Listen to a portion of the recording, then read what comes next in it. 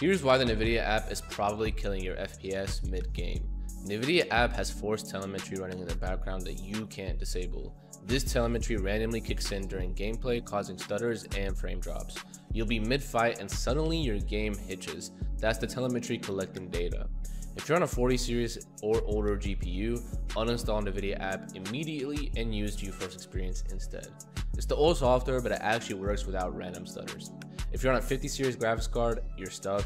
GeForce Experience doesn't work on these cards. Your only option is going to be OBS with a replay buffer. So open up OBS, go to settings, output, encoder, set it to NVENC H.264 or HEVC, rate control at CQP and try 20. Set preset to P6 better quality, then enable replay buffer. Add a hotkey to it and you're done. No telemetry, no random stutters, just clean recording.